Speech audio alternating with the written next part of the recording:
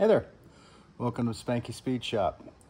Um, today I'll show you a real quick technique. Um, it's, it's, it's a way to deal with uh, something that's a pain, but it's very, very easy to deal with. So what I'm doing here is uh, I'm working on the brakes on this car.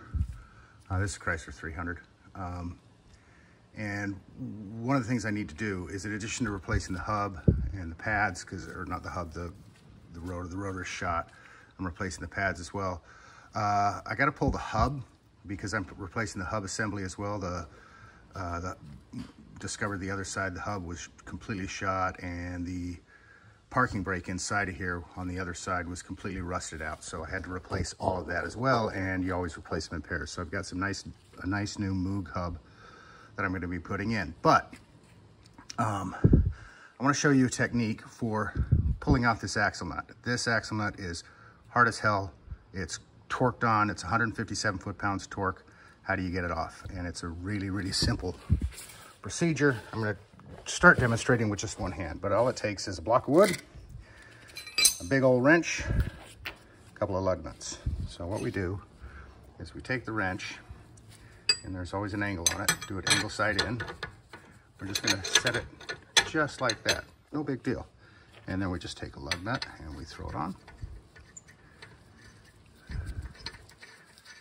And we take this lug nut and throw it on.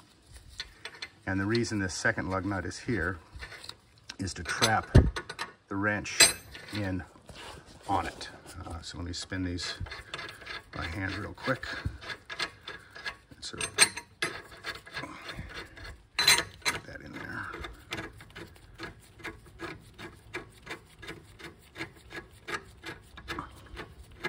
If I had a tripod and time lapse, I could do this quickly, but I just got me in one hand, so bear with me. Again, it's not really that hard. It just works well. So there we go.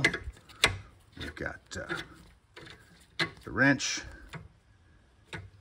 Uh, I need to pull that up just a hair, so otherwise I'm gonna get caught. There we go. So I have my wrench and my lug nut. Yay my block of wood. I set the block of wood right here.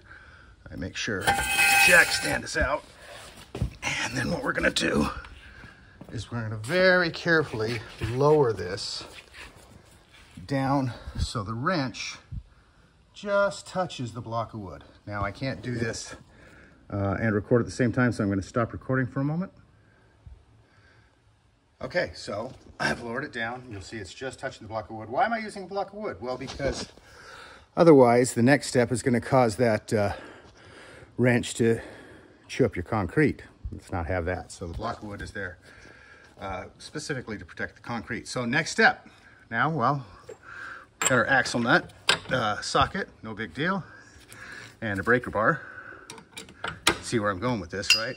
And a cheater bar. Oh, I don't have a cheater bar. Yes, you do. If you have a floor jack in your shop, you have the greatest cheater bar ever. You just pull this out of the floor jack and you just cheater bar this bad boy in.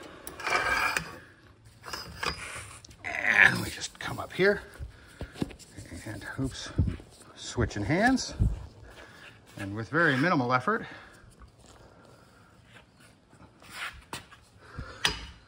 that's all it takes to break that axle nut loose. Stupid easy, work harder, not smarter. No, stop that, reverse it. Work smarter, not harder. Thanks for watching.